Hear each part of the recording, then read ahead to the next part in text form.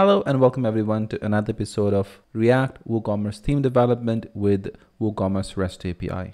So far, as you can see, we've got all of the products that are being displayed. And in this video, we are going to add the add to cart functionality. So how do we do that? Let's begin. So currently, this is the component where the products are being displayed from. And then what we can do is we can create another directory called cart. And then inside of this, we can create add to cart component and we'll say const to cart. So that's add to cart and then return empty for now, export default add to cart. Now, there are a few important things to consider. The very first thing is that notice that we have variable products as well. We not, not only just have the standard products, but we also have variable products and we need to handle the variable products differently. Okay, so so let's check what we get in each of these product and inspect. There we go. So let's see. The first one is Ray-Ban glasses, which is a standard product, which is fine. So as you can see that there are certain products which have a different type. Like for example, this one is variable product, which is perfume, right? And some of them are also group product. So for example, think this one right here, this is grouped. So we're going to handle the grouped product and the variable products differently later on. And we're just going to do the simple product right now. But the API that we're going to use does handle the variable products as well. So we'll come back to that later. Let's start with the basic first. So the first thing we can do is we can go ahead and extract this into a specific component so it looks a bit cleaner. So if you go to products, we'll create something called product, create a file called product. We'll say const product equals done. And let's move all of that. This is my this is my product. So I'm just going to take that and I'm going to put that over here. And of course it's going to need the product. So props say product. And if is empty product if it is empty product then return null. Return null. Okay. And the next thing we do is we'll take that here product you have to also export it. So we'll say export default product and then over here we'll say product and then we're going to pass the product to this. There you go. And then we also have to pass the key. We are going to say product. In fact let's just copy this whole thing. Key and let's put this image over here. Okay and then we can remove all of this from here. We don't need that and then we check the type of the product. So currently we have image we'll have the type. So say product type equals product dot type otherwise empty. And then currently we'll just handle the simple product and we'll come back to the variable products later. So for that gonna do is below this we'll check if product type equals simple then we're going to use add to cart cart else null and then we also have remember we also have to handle the external products so probably have a button for um, the external link, but again, we'll come back to that later. So add to cart, we have got export default add to cart, which is great. Let's pull that on top. So import add to cart from add to cart, which is great. And then let's pass the product. So we are passing the product to the add to cart. So I will go over here and then we're going to say product. And again, the same thing, if product is empty, then we just want to return null.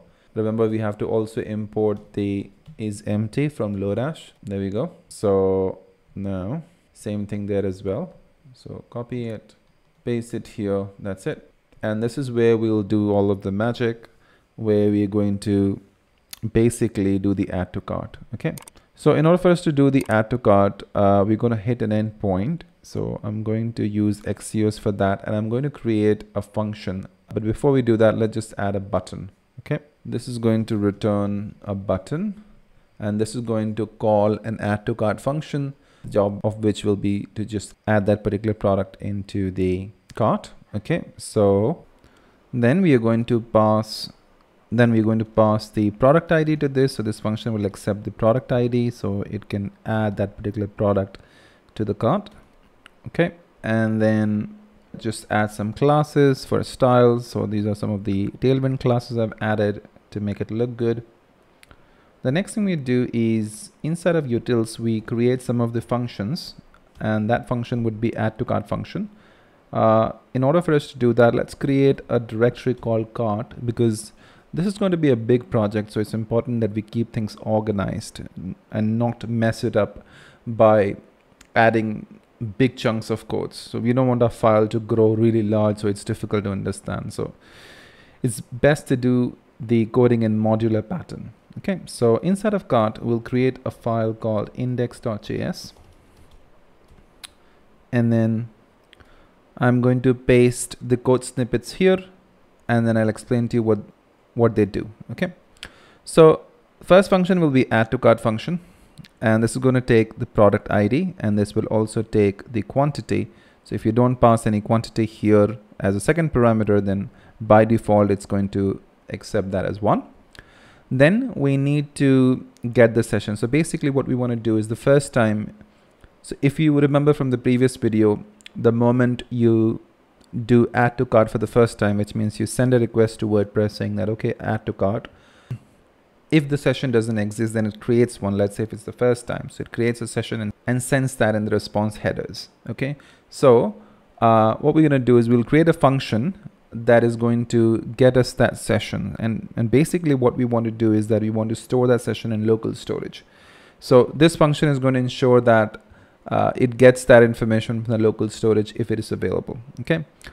The second function is basically to get the config for our cart. So as you can see, we are making a post request. If you remember from the previous video, we were doing a post request for add to cart. And this is going to be the endpoint for that. And it's going to accept some configuration. And that's what's going to be given to it by this function. So if you notice that we are trying to break the code into chunks, uh, small pieces, so that it's reusable. Okay. So this is going to give the config. Don't worry about, you know, what goes inside of the function we'll come back to that but just let's go with the flow now this is going to be the endpoint so rather than making this function dirty by putting a long length of the endpoint remember that we spoke about creating constants so they can be reused right so if so if you go to endpoints under utils slash constants slash endpoints so this is where we have all of the endpoints. So i have added the add to cart endpoint. And in fact I should name it as just cart endpoint. There's no need to make it as add to cart endpoint because remember that the URL for whether you want to add do add to cart or if you want to do view cart or delete the URL is anyways the same so it's better to name it as uh, cart endpoint now let's change that okay so cart endpoint and then we pass the product ID the quantity uh, so product ID will be available to this function over here and is going to be passed when we call this function. So let's just do add to cart and, we, and on top I'm just going to import that. So import add to cart and then it's, aut it's automatically importing that from that path. Okay. So this function passes the product ID and this product ID will be available to add to cart, which is great. Uh, and then it's also going to pass the quantity. If it doesn't then by default we're going to understand you just want to add one item to the cart. Then this is going to take care of the configuration. We'll come back to the configuration in a moment. Uh, then once we get the response so this is a promise. So a promise is returned and once we get the response we basically check if the stored session is available which means if local storage has a session whether or not we had set the session. And it's not the first time it's probably the second time. So the session would have already been set in the local storage by us. So if it's not empty actually this should be is empty. If this is empty which means the ses store session is not available it's not there in local storage. So we're going to call this function store uh, session and is going to store the value of the session. So the name of the key under the header is xwc session is which is where you have the session available i'm going to show that to you in a moment okay? Then we call the view cart function. Now in the next video we're going to continue further with the add to cart and view cart functionality. Okay see you then